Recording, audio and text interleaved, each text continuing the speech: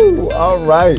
Tuesday, let's talk about it. Tuesday is the day of Mars. We got Mars in Pisces making a sextile to Uranus and the Sun in Taurus. The Sun and Uranus are also conjunct in Taurus. And so this looks like it's really motivating to your new idea. It wants to like try some stuff out.